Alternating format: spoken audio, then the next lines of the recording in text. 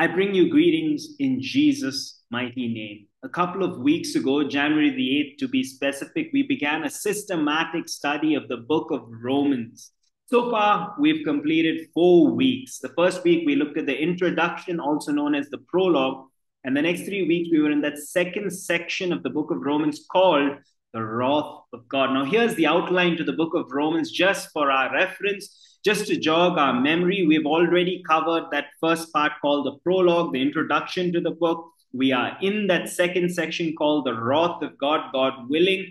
This coming Sunday, we can move on to the third section called the grace of God, what theologians often call justification, followed by which we will do a section called freedom in Christ, also known as sanctification. Then we will consider a question but what about the Israelites? What happens to the Israelites? And then we will come to a very practical section in the book of Romans called the gospel in everyday life, after which we will finish with the closing to the book of Romans, which is found in Romans chapter 16. So, the purpose of this video and the following video is to finish, is to conclude that second section called the wrath of God that we've already spent three weeks in. And the reason why there is some delay is because if you remember the last time that we met on a Sunday morning, we considered a very pertinent, a very poignant question. The question was this What happens to the people who have never heard the gospel? And we spent the entire Sunday uh, focusing on that one question. And so I want to consider the remaining verses in chapter 2 and some of the verses of chapter 3 so, so that we can conclude and be done with the section called the wrath of God. And so I'm going to read verses 17 to 29 of chapter 2. And here, if you notice, Paul is going to address the Jews exclusively. In chapter 1, he addresses the Gentiles and the pagans who are living lives that are steeped in sin. They're living lives of debauchery and they're doing all these abominable acts and disgusting deeds. And therefore, it's easy for the Apostle Paul to, to prove their guilt and their sinfulness. In chapter 2, the beginning, he shifts gears and he talks about the morally elite, the religious person who prides themselves on their moral rectitude. And he says, You also are a sinner because there are so many things that you do secretly. It may not be there out in the open. Maybe you're able to put on a performance, and maybe sometimes you pay attention to your moral compass, but so often you're being hypocritical and you're judging others. Now he's going to talk the Jews exclusively. And beginning in verses 17, the Apostle Paul says, Now you, if you call yourself a Jew, if you rely on the law and boast in God, if you know his will and approve of what is superior, because you are instructed by the law, if you are convinced that you are a guide for the blind, a light for those who are in the dark, an instructor of the foolish, a teacher of little children, because you have in the law the embodiment of knowledge and truth, you then who teach others, do you not teach yourself?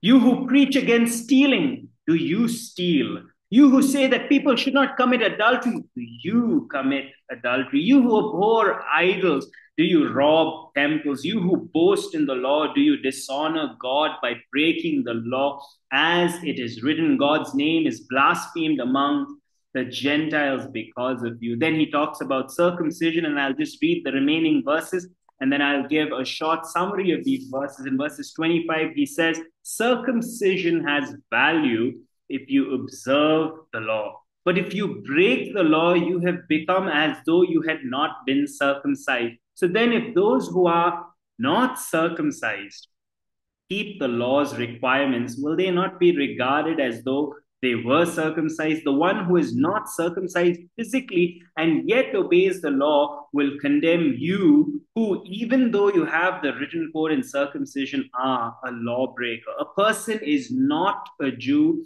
who is one only outwardly, nor is circumcision merely outward and physical. No, a person is a Jew who is one inwardly. And circumcision is circumcision of the heart by the Spirit, not by the written code. Such a person's praise is not from other people, but from God.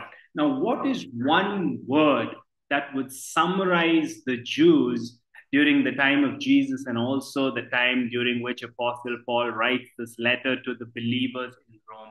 If I were to use one word that describes the average Jew, it would be the word privilege. Now, what does that word mean? The dictionary definition of the word privilege is somebody who has special rights, certain advantages, or certain immunities. And that's exactly what the Jewish person of Paul's day thought. They thought they were privileged. They thought they were entitled. Now, why did they think that way? According to this text, there are two reasons why they thought that they were privileged, that they had certain advantages and immunities. Number one, the reception of the Mosaic law, the first five books of the, the Old Testament. The second reason, the act of circumcision, which is the surgical removal of the foreskin. So, because of these two reasons, the Jewish people thought that they were highly favored and they were special to God.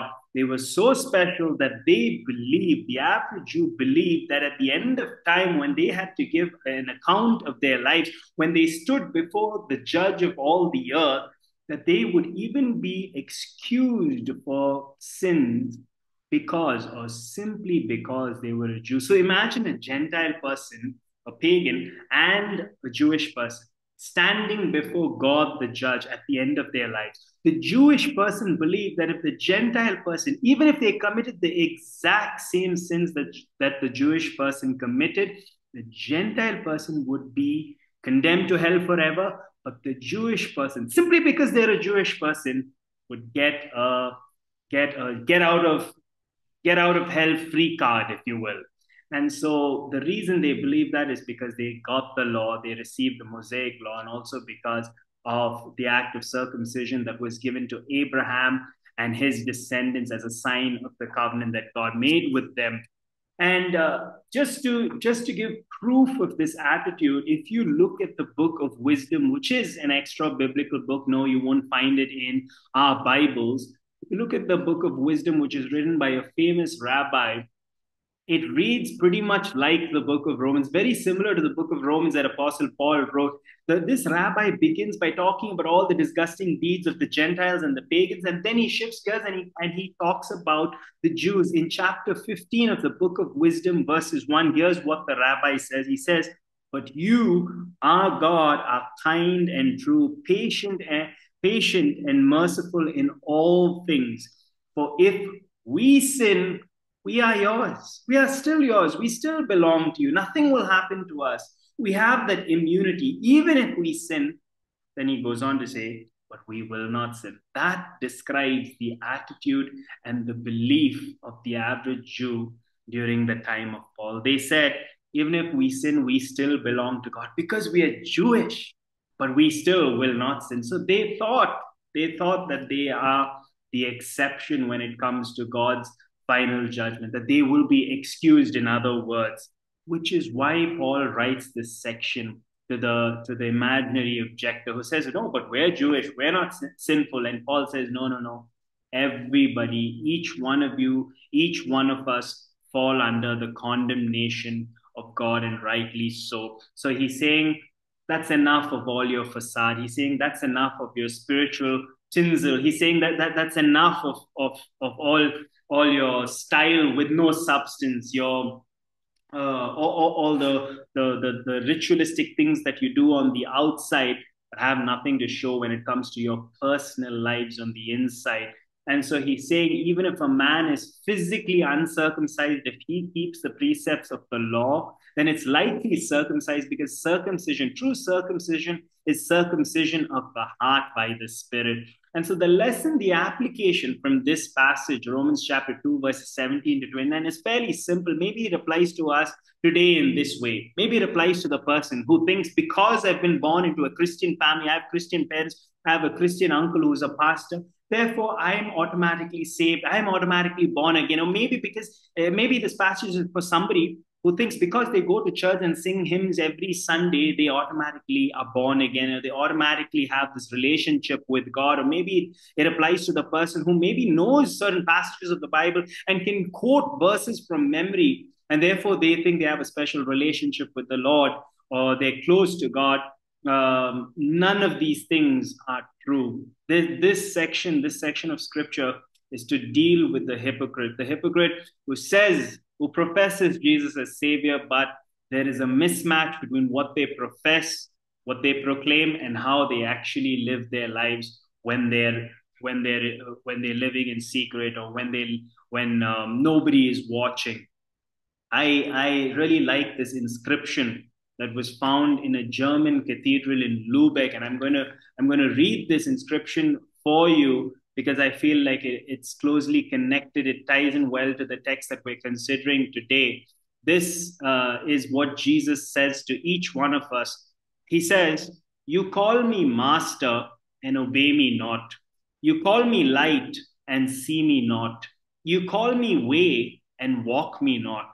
You call me life and choose me not. You call me wise and follow me not. You call me fair and love me not.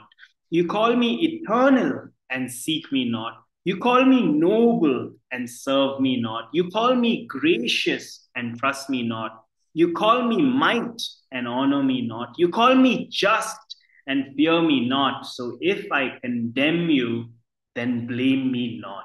And I think this is such a powerful inscription, a powerful reminder that our lives, our inward lives, should match everything that we profess. In other, in other words, to state it plainly, uh, like James did, he said, Don't be hearers of the word, but be doers of the word. Maybe this applies to somebody who, who believes that just because they have taken baptism, they've been baptized, that uh, they are saved because they have followed uh, the commandment of Jesus in regards to baptism. And so maybe this passage today reminds us that we need to introspect, look within, and deal with the hypocrisy in our own lives. Sometimes we're so consumed by the faults of others and the sins of others. And we think we're special maybe because we're born in a Christian family or we know a little bit of the Bible. This passage acts as a warning, a wake up call to people who think exactly like that. I end with a story that my father in law uh, told me about. He sent it to me via a WhatsApp text. And it's about this lady who's in an airport waiting for her flight, waiting to catch her flight. So she grabs a book, but she's a little hungry. So she gets herself a bag of cookies and places it beside her seat, or so she thinks. And then a man, a stranger, comes and sits beside her. And then he suddenly reaches into the bag of cookies, opens it up, and he and he grabs himself a cookie and begins to eat it. And this this lady is wondering, how bold, how dare he touch my bag of cookies? And so she grabs a cookie from the bag, and both of them keep taking, helping themselves to a cookie each until finally it comes down to the last cookie. And then the man smiles and he takes out the last cookie, he breaks it into half, gives her half, and he eats half.